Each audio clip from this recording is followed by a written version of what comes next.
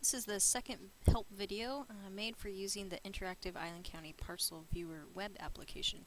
In this video we're going to cover searching by owner, PID or parcel number, measuring lines and areas, um, how to use the other layers that are included in the map, and how to export information out of the map. So first, as before, the blue text box talks about the functions that I'm showing you in these help videos, either the first one or, or this video. So you just click OK.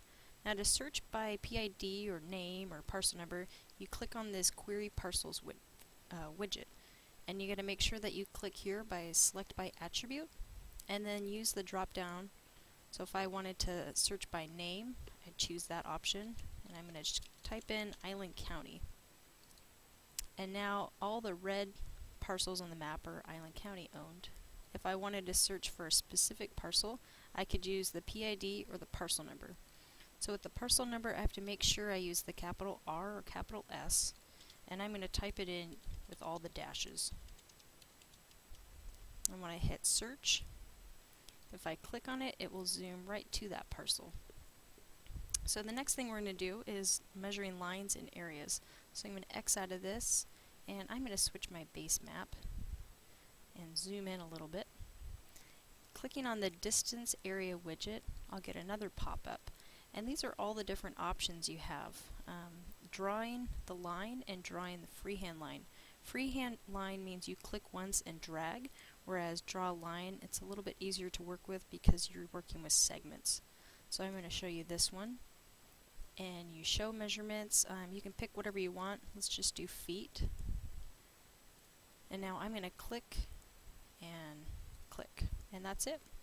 So I can do the same thing with a polygon. Draw polygon, I'm going to do each vertex.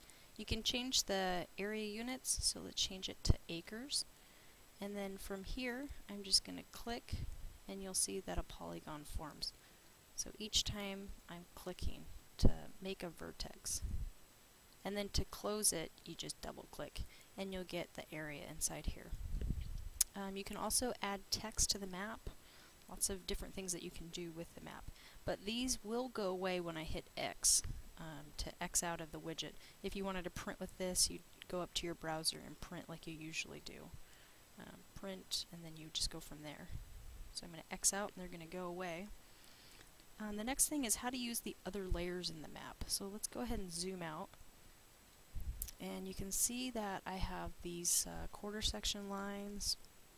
I've got blue for plats and condos.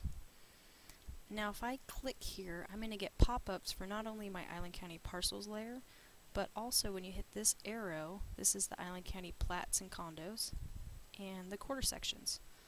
So these are all, uh, this is additional information that that is included. And like in the last video, if you wanted to turn those off, you could do that by going up to more and just turning them off. The last thing we're going to cover is how to export parcel information out of the map. So if I'm interested in a bunch of parcels in the same area, I'm going to zoom to all the parcels of interest.